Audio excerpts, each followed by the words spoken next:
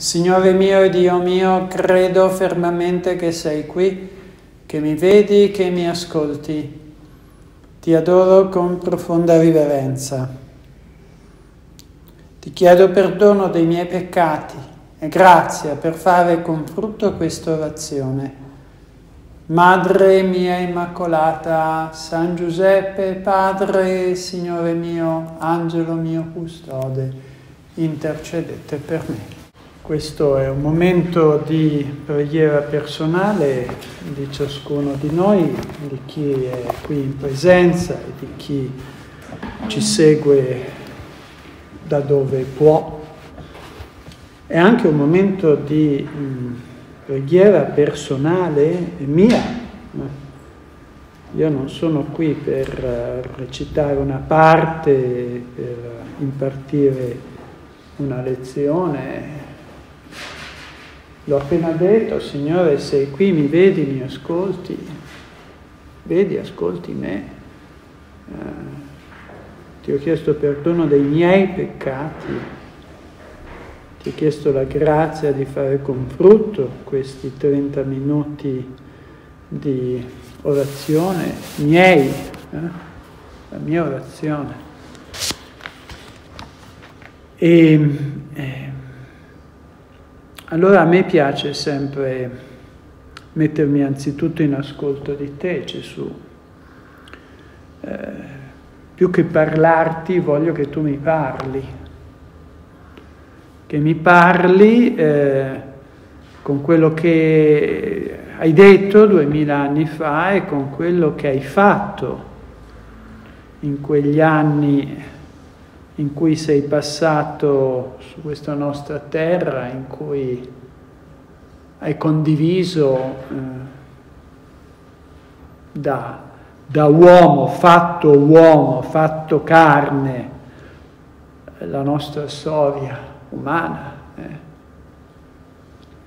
Adesso siedi alla destra del Padre nella, nell'amore dello Spirito Santo, continui a, ci mancherebbe pure, no? eh, a essere nella nostra storia, ma quei poco più di 30 anni che hai trascorso, 2000 anni fa, sono decisivi per noi. E l'impegno fino al tuo prossimo ritorno di noi che siamo tuoi discepoli, che ci chiamiamo cristiani e che vogliamo anche essere testimoni di questa fede, confessori di questa fede, apostoli di questa fede. Il nostro impegno è di riandare, rimeditare, rientrare eh, in quegli anni facendoli in qualche modo nostri, attualizzandoli nelle circostanze che viviamo. Allora, dopo questa premessa, che però a me sembra importante, eh, voglio valorizzare anzitutto perché oggi è sabato della terza settimana del tempo ordinario, domani è domenica ed è, ed è un'altra settimana. Eh? come sapete la settimana cristiana inizia la domenica, invece eh, io voglio valorizzare oggi, sabato anzitutto, e poi con uno sguardo retrospettivo eh, valorizzare eh, questa parola di Dio che ci è stata donata nelle ultime settimane. E allora oggi, nella messa che ho celebrato proprio qua alle 9 stamattina, ho, ho riletto e, e, ho rimeditato questo episodio che, che, viene narrato in termini abbastanza diversi da tutti e quattro gli evangelisti, eh, dai tre sinottici, Matteo, Marco e Luca, e anche nel quarto Vangelo che porta il nome di Giovanni. È Gesù che eh, imbarca attraversa eh, il mare di Galilea, che in realtà un, è un lago, un grande, relativamente grande lago di acqua dolce. Io ci sono stato, ci ho navigato, eh, qualcuna delle presenti forse anche, sì, almeno una, sì, la vedo qui davanti. Eh. E, e quando è tranquillo è veramente è tranquillo. Eh, però eh, capita che, che, ci si scateni eh, una grande tempesta di vento. E in quell'occasione, mentre le onde si rovesciavano nella barca tanto che ormai era piena, Gesù se ne stava a poppa sul cuscino e dormiva. Mm? Veramente eh, questa è un'esperienza che facciamo tante volte, eh, di essere agitati dagli eventi planetari, come quello di cui tutti parlano, eh, su cui no, non voglio soffermarmi, ma tutti ne parlano, tutti ci pensano, tutti ne siamo scossi. E, e, e poi dagli eventi, diciamo, dai turbamenti, dalle fatiche, eh, dalle angosce, eh, dalle paure eh, quotidiane o, o periodiche eh, personali, familiari di ciascuno di noi. No? E tu Gesù dormi. Apparentemente eh, non, non, entri, non ti, non ti preoccupi, non ti agiti come noi e per noi. Allora lo svegliarono e gli dissero, Maestro, non ti importa che siamo perduti? Eh? Si destò minacciò il vento e disse al mare, taci, calmati. Taci, calmati. Quante volte il Signore, eh, penso che con l'agitazione, con la fretta, con eh, le alzate di voce, posso non dico migliorare le, eh, eh, non dico risolvere le cose, ma almeno migliorarle. No, no. La vera forza non sta nel parlare sopra le righe, nel sovrastare la voce altrui, nel, nel correre più veloci di altri. La forza eh, si esercita nel silenzio, nella calma. Taci, calmati. Il vento cessò e ci fu grande bonaccia. Ed ecco che Gesù impartisce ai discepoli di allora, ma anche a noi, un'altra lezione, no? La prima è questa, che le cose si migliorano e a volte anche si appianano nel silenzio e con la calma. La seconda lezione, perché avete paura? Non avete ancora fede? Le paure, le fobie, le ansie. In questi duemila anni che sono trascorsi da allora, eh, tanti si sono presentati sulla scena della storia dicendo con, che ti devo dire, i progressi della scienza medica, con l'educazione universale, con eh, il, questo o quel sistema politico, ecco, con, date retta a noi e tutto si risolverà. Non ci saranno più guerre, camperemo fino a cent'anni, che tuttora è da pochi e francamente non invidio, poi ognuno di noi può pensarla come gli pare, però io non invidio quelli che campano fino a cent'anni, perché sarebbe bello campare fino a cent'anni però con eh, la forza dei venti, invece non, purtroppo non è così, con la salute mentale dei 40, eh, diciamo così. Eh o dei 60, non buttiamo giù i miei coetanei. Eh? Purtroppo non è così, eh? purtroppo non è così. Eh? Insomma, tante promesse che sono andate deluse, mm? dobbiamo ammetterlo. Certo, tu puoi dire no, ma è solo questione di tempo, no? I primi duemila anni ci abbiamo provato, adesso nei prossimi cento risolviamo tutto, no? abbiamo inventato delle cose magiche che funzionano alla perfezione. Ah no, forse proprio... No, però ci siamo avviati no? verso la perfezione tecnologica. Puoi sempre credere in questo.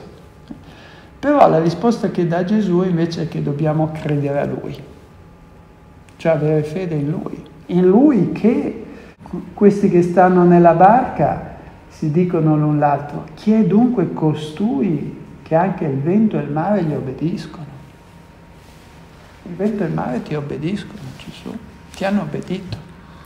E se lasci che il vento e il mare ci agitino tuttora, il vento, il mare, i virus, i batteri, i funghi e tutti gli agenti patogeni, forse perché ci rendiamo conto che da soli non ce la possiamo fare. E con te sì. Non che ce la possiamo fare a campare fino a cent'anni con il fisico di 20 e il raziocinio eh, dei, dei 60, eh? ma che ce la possiamo fare a vivere abbastanza serenamente e gioiosamente su questa nostra bellissima terra Stamattina ho, guardato le previsioni del tempo e, e, e dicevano eh, che c'è un'aria ottima a Genova eh? e diceva pure la, goditi l'aria che c'è. Per me che vengo da Milano ho detto, beh, è un bel consiglio, no? Eh, qualche grado in più di temperatura e sicuramente eh, un, degli indici eh, di inquinamento migliori. Vivere abbastanza serenamente e gioiosamente su questa terra nell'attesa che si compia la beata speranza di una vita beata nei cieli nuovi, nella terra nuova, nella vita eterna. Eh, però dobbiamo avere fede in te, Gesù. Allora, questi uomini che erano nella barca, c'era di tutto, ma c'erano anche i discepoli no? di Gesù. Eh. Forse c'era qualche estraneo, ma l'inizio del Vangelo dice, venuta la sera Gesù disse ai suoi discepoli, passiamo all'altra riva, cioè questi erano discepoli. Eppure eh, non avevano ancora fede. Eppure ancora non avevo capito chi è costui cui anche il vento e il mare gli obbediscono. Chi erano questi uomini? Eh, l'abbiamo letto domenica scorsa, o meglio, domenica scorsa abbiamo ascoltato la chiamata di quattro di questi primi discepoli. Simone e Andrea, fratello di Simone, pescatori ed esperti di questo mare eh, che a volte si agitava, a volte eh, non dava eh, frutto, eh, altre volte invece era sereno, altre volte riempiva di pesci eh, le loro reti e poi eh, Giacomo e Giovanni un'altra coppia di fratelli, figli di Zebedeo, anche loro pescatori, anzi facenti parte di un'impresa di pesca, perché dice che lasciarono il loro padre Zebedeo nella barca con i garzoni, era un, una ditta di pesca, eh? e andarono dietro a lui e di Andrea e Simone che poi verrà chiamato Pietro, oppure eh, si dice subito lasciarono le reti e lo seguirono. Allora, quando io leggo questo, eh, lo leggo diciamo, da persona anche critica, no? mi domando, ma com'è possibile? Cioè, com'è possibile che questi lasciano tutto così, su due piedi e ti vengono dietro Gesù? Senza aver ancora capito, cioè che noi eh, poi nella professione di fede, no? nella messa festiva, diciamo che tu Gesù eh, ti sei fatto uomo, ma che sei Dio da Dio, luce da luce, Dio vero da Dio vero, vero, generato, non creato, tutte espressioni che sono state elaborate dalla Chiesa grazie allo Spirito Santo nell'arco di eh, qualche secolo, no? Il, la professione di fede che leggiamo che recitiamo, che professiamo nella messa, il credo di, detto niceno-costantinopolitano, eh, ha, ha, avuto la sua formulazione appunto definitiva Nicea 325, Costantinopoli II 381 d.C. No? Eh, ma questi uomini ti seguono avendo capito qualche cosa, ma non ancora tutto. Allora questa pagina del Vangelo, della sequela, eh, si capisce quando noi, e faccio un passo indietro, questa era la terza domenica del tempo ordinario, eh, andiamo a quello che dice un altro evangelista, questo era Marco, che inizia praticamente il capitolo primo di Marco, no? inizia così.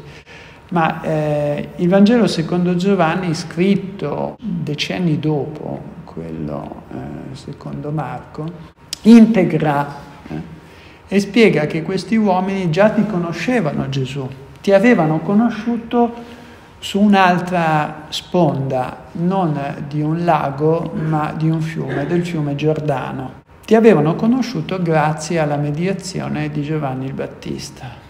Infatti, eh, il primo capitolo del Vangelo secondo Giovanni narra che il Battista stava con due dei suoi discepoli e fissando lo sguardo su Gesù che passava disse ecco l'agnello di Dio. E i suoi due discepoli, sentendolo parlare così, seguivano Gesù. Di questi due si dice subito dopo che eh, uno è Andrea, fratello di Simone, il quale incontrò per primo suo fratello Simone e erano tutte e due in trasferta, no? erano in ferie, diciamo. Avevano lasciato la Galilea, che sta a nord della Terra Santa, e forse non è una stagione buona per la pesca, o comunque erano attirati dalla figura del Battista ed erano accorsi da lui. E si capisce dal contesto e anche dal testo eh, che erano discepoli del Battista. Cioè non erano gente capitata lì per curiosità oppure come certi scribi, eh, eh, dottori, ispettori venuti da Gerusalemme per controllare chi era quest'uomo che non provocasse guai, no? E che facevano i loro interrogatori, ma tu chi sei? Eh, sei il Cristo, cosa dici di te stesso? Sei eh, il profeta, eh, no, questi eh, si erano affezionati a Giovanni, eh, gli credevano e eh, Andrea e l'altro, di cui non si dice il nome e non si fa il nome di lui in tutto il quarto Vangelo, e questo è molto indicativo, eh, è la fonte del quarto Vangelo. Però viene sempre indicato come un discepolo o il discepolo che Gesù amava. Eh. Questo messo insieme al fatto che nel quarto Vangelo non si fa mai il nome di Giovanni, fratello di Giacomo, figli di Zebedeo, eh, ha portato a credere fondatamente, eh, non è un articolo di fede, però fondatamente a credere che la fonte del quarto Vangelo, se non quello che l'ha scritto da cima a fondo, sia proprio Giovanni, fratello di Giacomo, uno dei primi quattro. Eh? E comunque qui vediamo come attraverso la mediazione di Giovanni il Battista, di cui erano discepoli, questi uomini già conoscevano te Gesù dal, dalla testimonianza di Giovanni il Battista. Ecco l'agnello di Dio, ecco l'agnello di Dio. Prima, eh, con una formula più completa, aveva detto ecco l'agnello di Dio, ecco colui che o Aaron tenamartian tu cosmo, eh, quando parlo delle lingue strane, antiche, ma è perché non mi piacciono le traduzioni che sono state date oggi, no? eh, eh, avete visto che sono cambiate alcune formule nel messale eh, per adattarle meglio, no? in base al, così alle riflessioni no? che fanno i teologi. Io non oso dichiararmi tale, però un po' il greco lo conosco e l'ho approfondito. Eh. Non hanno osato cambiare. Eh. Ecco colui, cioè è cambiata qualcosa, ma hanno lasciato colui che toglie i peccati del mondo, ma l'originale da cui è preso, che è qui nel primo capitolo di Giovanni, non dice che l'agnello di Dio toglie i peccati del mondo se avesse detto questo a me mi avrebbe messo un po' in crisi, perché dopo duemila anni i peccati del mondo ci stanno ancora tutti, hm? tutti, non li ha tolti. E invece l'originale dice O Aaron ten amartia, amartian tu cosmo, che vuol dire colui che si fa carico del peccato al singolare, del mondo, che è un po' diverso da dire togliere. È vero che il verbo aro in greco, come tollere in latino, vuol dire anche portare via, togliere, ma ha un significato derivato. Il primo significato è io mi faccio carico, io mi carico sulle spalle, io porto, porto il peccato al singolare del mondo. È chiaro che questa espressione un po' ermetica no? che usa il Battista, eh, addita a, a, Gesù che nel mistero pasquale con la sua croce e la sua risurrezione dai morti eh, ha, si è fatto carico, ha pagato lui il prezzo del riscatto del peccato del mondo. Questo vuol dire. Dopodiché, se io mi carico e porto via, tolgo anche, tolgo, tolgo ma lascio, lascio a chi non mi dà il suo peccato evidentemente. Lui può togliere il peccato, lui si è, i peccati concreti di ciascuno di noi, tu puoi togliere, però tu vuoi che io, Gesù, te li carichi sulle spalle, mm? che me ne liberi, che me ne sgravi io. Questi uomini eh, seguirono Gesù anzitutto per la testimonianza del Battista e poi in un dato momento, appunto, tempo dopo, ti seguirono definitivamente Gesù quando tu hai detto loro lasciate le reti, la barca, vostro padre, la vostra impresa di pesca. Venite dietro a me, vi farò diventare pescatore di uomini. Allora, eh, com'è che Giovanni Battista si era reso conto che tu Gesù eri il Cristo, il Messia, il Redentore, colui che riscattava il mondo dal peccato? Questo ci viene ricordato nella prima domenica del tempo ordinario. Sto andando a ritroso. Eh per chi non se ne fosse accorta, cioè nessuna delle presenti, magari qualcuna a casa tra le pentole e, e il figlio che le chiede mamma dove sta? La... si è distratta. Sto andando a ritroso nei Vangeli eh, delle domeniche. Eh. La terza domenica, la seconda domenica, la prima domenica dell'anno eh, del tempo ordinario eh, ogni anno eh, ha una nota speciale, è la domenica in cui commemoriamo il battesimo del Signore Gesù nel fiume Giordano ad opera di Giovanni il Battista. Eh. E anche quest'anno è stato così. Eh.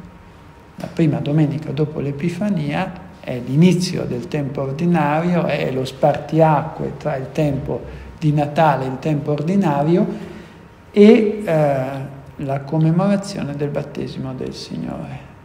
È, è in questo evento che, come pure dichiara il Vangelo di Giovanni, che su questo è molto preciso, o meglio, integra i dati mancanti nei tre sinottici, è lì che il Battista riconosce che quel suo parente eh, Galileo, eh, Gesù, figlio di Giuseppe e di Maria da Nazareth, di mestiere carpentiere, è il Messia, è il Cristo, è l'agnello di Dio che si fa carico del peccato del mondo.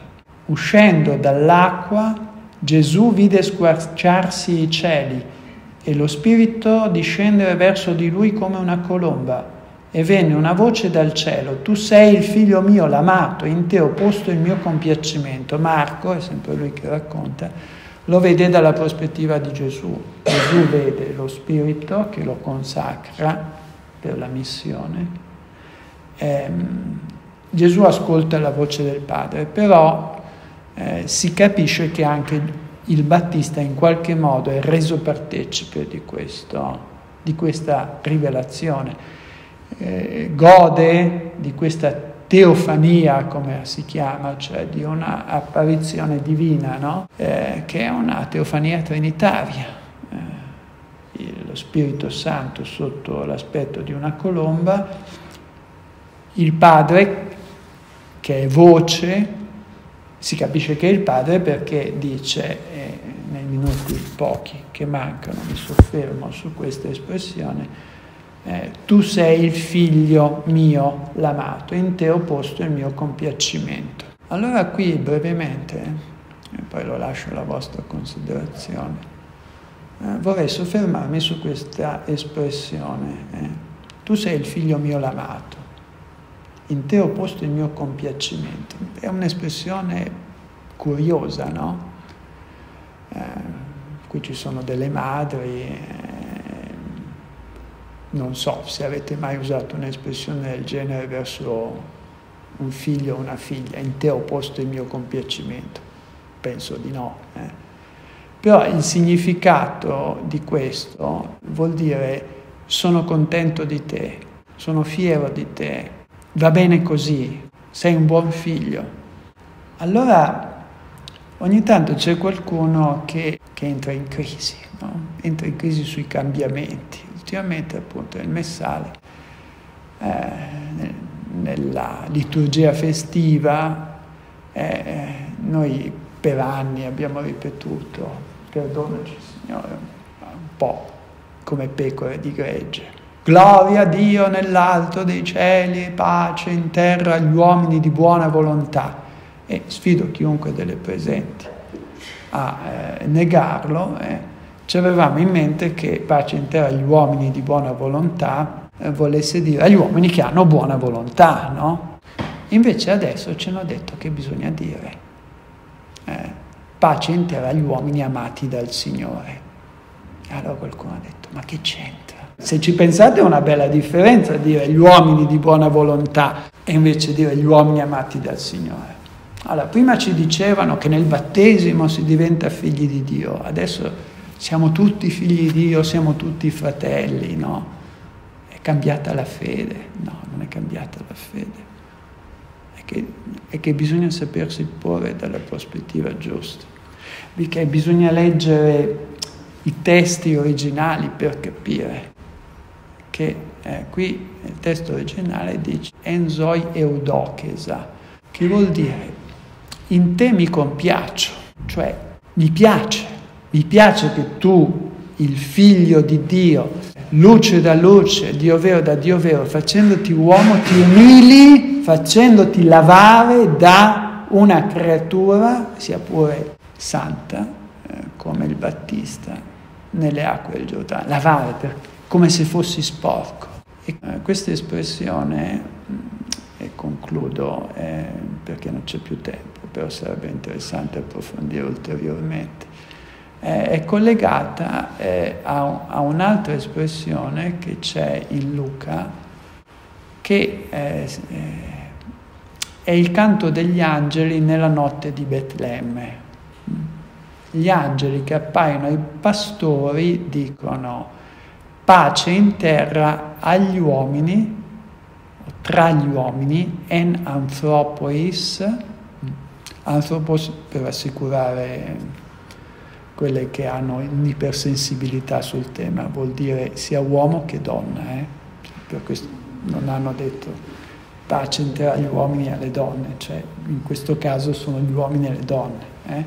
anthropos vuol dire uomo e donna in greco. Pace in terra agli uomini, anthropois eudochias, lì è un sostantivo eudochia, Qui invece nel battesimo del Giordano è un verbo eudocheo, ma è la stessa cosa.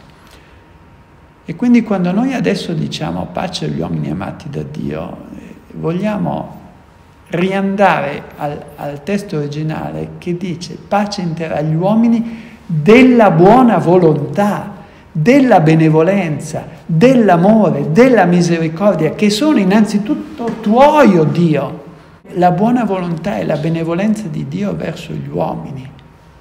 Allora noi uomini non abbiamo più niente da fare, tutti, tutti figli di Dio, tutti fratelli, tutti ci vogliamo bene, no, e no. Alla buona volontà, alla benevolenza, a questo amore di Dio c'è bisogno che corrispondiamo, ognuno meglio che può, con la benevolenza, con la buona volontà, con la misericordia, con l'amore. E quindi qui c'è la saldatura tra la buona volontà di Dio e la buona volontà degli uomini. E qui c'è il compito che spetta ciascuno di noi. Siamo figli di Dio, ma dobbiamo diventarlo. Siamo tutti fratelli, ma dobbiamo diventarlo. Con la tua grazia, Signore, con la tua parola, con il pane di cui ci nutriamo continuando a chiederci, ma chi è Gesù? A che punto è la mia fede? A chi sto dando credito, sto dando fiducia? In chi ripongo la mia speranza? Qual è lo spessore della mia benevolenza e del mio amore? Maria Santissima ci aiuti a continuare a porci le domande e a ottenerci dallo Spirito Santo le risposte giuste. Ti ringrazio, mio Dio, dei buoni propositi, affetti e ispirazioni che mi hai comunicato in questa orazione. Ti chiedo aiuto per metterle in pratica. Madre mia Immacolata, San Giuseppe, Padre, Signore mio, Angelo mio custode, intercedete per me.